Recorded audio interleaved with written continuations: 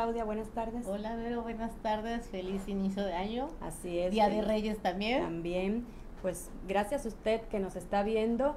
Y como ves, el tema de la educación es una herramienta que socialmente o te integra o te cohibe, ¿no? Y es un tema de mucha plática y para eso pues hoy tenemos aquí en Cancún Channel a la licenciada eh, Romina Cervera Estrella. Ella es eh, la coordinadora estatal del Instituto de, para la Educación de Jóvenes y Adultos en Cancún y Puerto Morelos. Y pues ella nos va a estar platicando un poquito de este tema de la educación. Claro que sí. Bienvenida, Romina. Muchas gracias, Claudia. Muchas gracias, Vero. Este, pues ahora sí que tú ya lo dijiste, la educación es una, es una herramienta muy importante y es por eso que hoy estamos aquí, pues invitando a toda la ciudadanía a una convocatoria, porque en el Instituto de Educación Estatal para Jóvenes y Adultos, que es donde estoy laborando, ahí estamos solicitando ahorita eh, pues gente que quiera apoyar, que quiera servirnos de apoyo, que quiera hacer el, trabajo el trabajo social. Es una labor social muy noble, el ayudar a las personas, el alfabetizar, porque realmente en esta zona de Benito Juárez sí hay mucha gente que no sabe leer, escribir, que no ha terminado la primaria o la secundaria. Entonces, esa es nuestra labor como instituto. ¿De dónde, perdón, de dónde surge este proyecto? Porque bueno, anteriormente, ahorita estamos viendo que este, ya el instituto incluye a los jóvenes. Antes era nada más los adultos. ¿De dónde surge el proyecto? Sí, eh, los jóvenes empiezan a, sabemos que tenemos problemas en los jóvenes. Por ejemplo, hay jóvenes que no terminan la, la secundaria, De repente algún problema, se salen, el bullying, muchas cuestiones que hemos detectado que los alumnos pues ya no pueden terminar o la primaria o la secundaria. Entonces ahora ya incluimos esa parte de los jóvenes también. Grupos de, de, primaria, un niño de 10, 14 puede terminar la primaria con nosotros, a lo mejor no la terminó por X o Y situación que se le presentó en la escuela, y ahora la puede terminar con nosotros, al igual que los jóvenes de secundaria, ya pueden terminar la, la secundaria con nosotros. Es un programa eh, donde se va a alfabetizar a las personas que de, personas y jóvenes eh, mayores de 15 años en adelante, ¿no? Sí, mayor de 15 años en la cuestión de secundaria no podemos aceptar a chicos de 13 años a nivel secundaria porque deberían de estar cursando en secundaria, a menos que tuvieran una situación especial y se manda una carta en específico a la Ciudad de México para que ellos acepten a ese alumno. Por eso es de 15, educación secundaria es de 15 en adelante. Esta convocatoria, o sea, ¿qué se está solicitando a la población? ¿Qué personal, con qué capacidades, qué requisitos son los que están manejando para hacer el filtro para esta, para esta convocatoria? Mira, estamos solicitando asesores que son el pilar de nuestra institución, que son los que dan asesoría, valga la redundancia, a los alumnos, son como profesores, ellos hacen el trabajo de un profesor, porque son los que van a asesorar en primaria, en secundaria, en alfabetización a nuestros alumnos. Estamos solicitando 36 asesores en Benito Juárez y en Puerto Morelos esos 36, contemplando Puerto Morelos más bien, se están solicitando 36 asesores. Además de los asesores, nosotros estamos solicitando también tres formadores educativos. Estos formadores educativos sí necesitan nivel licenciatura. Los asesores pueden ser con nivel bachillerato.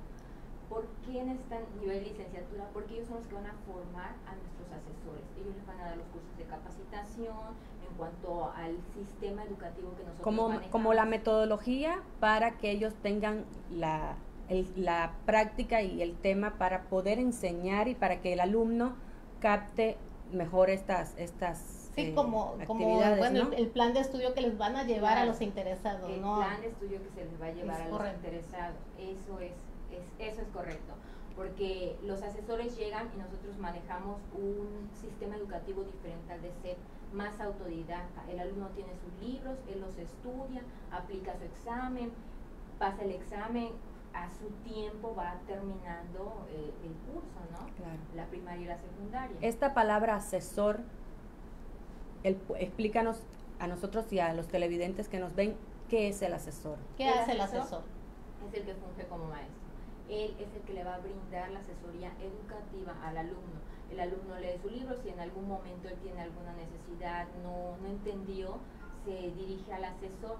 Los asesores están en las plazas comunitarias, ahí es donde nosotros tenemos a nuestros asesores y también tenemos otros aliados como lo son el IMM, algunas instituciones que nos prestan instalación y ahí mismo se dan las clases en las comunidades, que es donde nosotros eh, ocupamos a los asesores para que den clases, en las comunidades que más lo necesitan, donde detectamos que hay mayor índice de analfabetización y de jóvenes que no han terminado la primaria y la secundaria. ¿Cuáles son esas comunidades? ¿Dónde está el, bueno, el problema latente de analfabetas aquí en, en la mayor parte, Bueno, en Benito Juárez, porque no es Benito Juárez, ¿no? Sí, la mayor parte de analfabetismo se encuentra en las colonias irregulares, que son Valle Verde, Avante, Tres Reyes, todas las colonias que a lo mejor tienen una, dos escuelas y ya han crecido muchísimo o en las que implica un gasto, a lo mejor en la escuela de Tres Reyes, desplazarse hasta la escuela, pagar,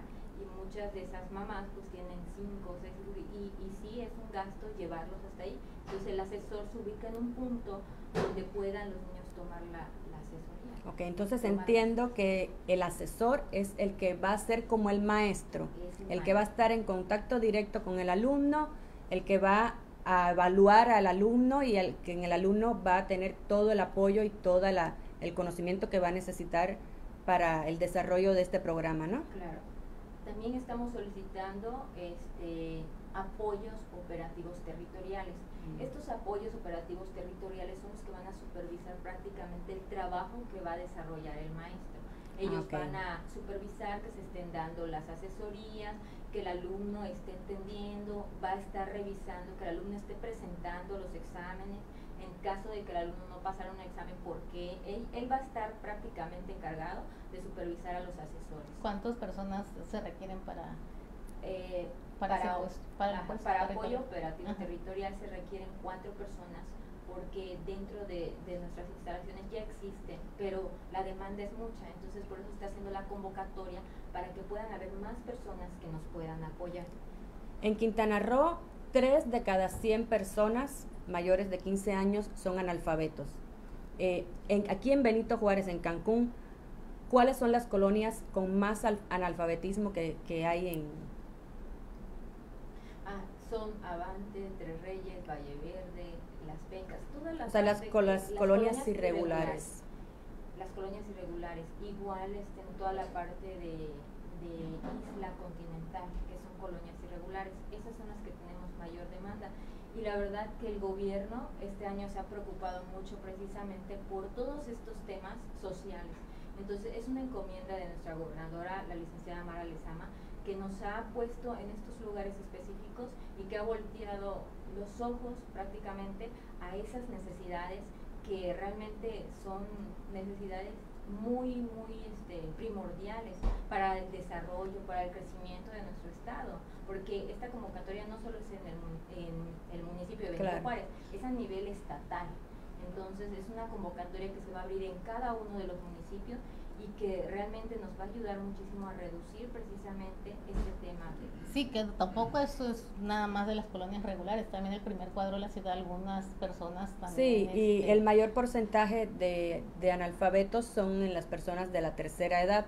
Sí, también tomando en cuenta que Quintana Roo es un lugar muy rotativo de gente, ¿no? Vienen de todos los estados y realmente los hoteles han sido aliados de nosotros desde hace mucho los hoteles, ellos tienen personal que no tiene la primaria, que no tiene la secundaria, y ellos buscan al instituto y un asesor está el tiempo ahí que sea necesario para darle la alfabetización primaria, secundaria, y ellos puedan terminar sus estudios. Ellos tienen un compromiso social y lo han adquirido y lo han llevado a cabo porque han sido nuestros aliados durante mucho tiempo en este tema de su personal, darles primaria y secundaria. La recepción de los documentos eh, qué día va a comenzar, dónde tiene que dirigirse la persona interesada en participar en esta convocatoria a entregar toda su documentación. ¿Y a quién se dirige? Para los interesados o el público que nos está viendo. Ahora sí que eh, ya dijimos que son asesores, este, apoyos territorial operativo, tres formadores, me hace igual tres personas de control escolar, que estas son las que van a hacerse cargo de toda la documentación, de recepcionar la documentación de los alumnos, de entregar credenciales, prácticamente el trabajo que hace el control escolar en una escuela nueva. Este, y también vamos a solicitar eh, nueve apoyos técnicos en plazas comunitarias. Entonces tenemos nosotros las plazas comunitarias que es en Club Rotarios, en el Magodoy, en, en la Biblioteca de Puerto Morelos. Ah, pero ¿dónde tiene que dirigirse la persona interesada a la entrega de documentos? La entrega de documentos se va a hacer en la coordinación, que es este, en la coordinación 09, que está en un, al lado de taxistas pero eh, de taxistas de la 102, donde está la Guadalupana, el fraccionamiento de la Guadalupana, ahí estamos nosotros ubicados. Es un edificio que nos presta taxistas, está a un ladito nuestro edificio, ahí estamos ubicados, ahí pueden llevar los documentos. Del 9 al 13 de enero se va a hacer la recepción de documentos de todas las figuras que van a participar. De todo, para todos los cargos. Ahí se les va a hacer una pequeña entrevista y van a canalizar en qué puestos van a, quedar cada, cada interesado, ¿no? Claro, se les hace una pequeña entrevista cuando llevan los documentos para ver en qué aspirantes de qué puesto van a estar, claro. ¿no? Entonces ya después de esta, de que lleven ellos los documentos, eh, se les va a hacer una, va a aparecer en las páginas de, de IECA, de Facebook, van a aparecer los que pasaron esa prueba de la documentación porque se va a revisar. Es el primer filtro, ¿no? Porque tengo entendido que son tres filtros más porque se va a hacer después eh, la... El 17 pasan la documentación.